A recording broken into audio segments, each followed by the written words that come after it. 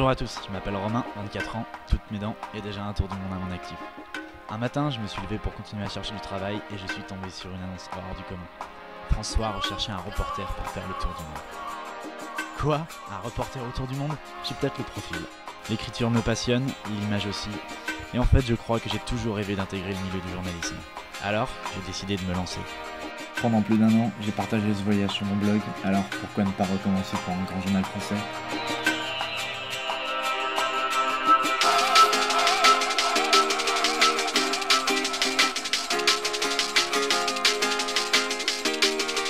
Le voyage, ma passion depuis toujours.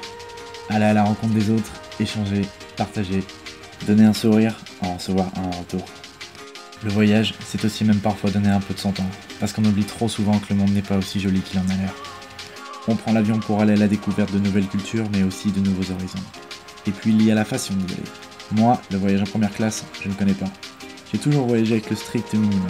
Dormir dans la rue, je connais, et ça ne me dérange pas. Mais pour une fois, je me suis dit que ça serait pas mal de passer de l'autre côté, non? La seule limite à l'impossible, c'est ton esprit.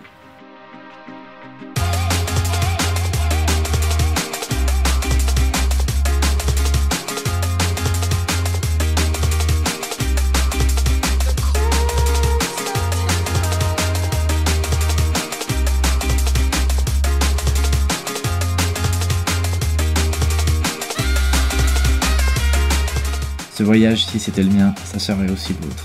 Le plaisir que j'ai à coucher mes émotions sur le papier, cette joie immense que j'éprouve à partager mes aventures, tout cela, je suis prêt à vous l'offrir à nouveau.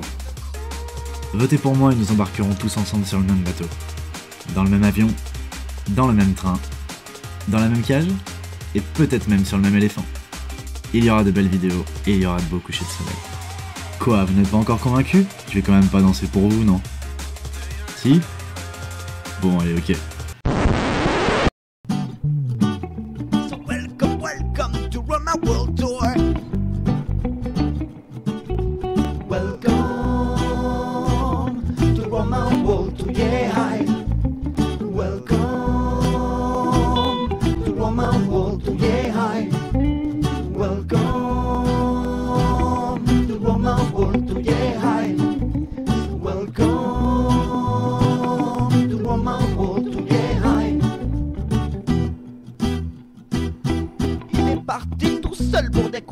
Le monde, mais il emmène avec lui les internautes de tout pays, des plus beaux paysages aux situations les plus immondes. Il parcourt la terre et nous donne son ressenti. From the great white north of the French Canada to the firehouse of the extreme Ushuaia, he's teaching us that we can change our course. So let's walk in his path and travel the earth. So welcome.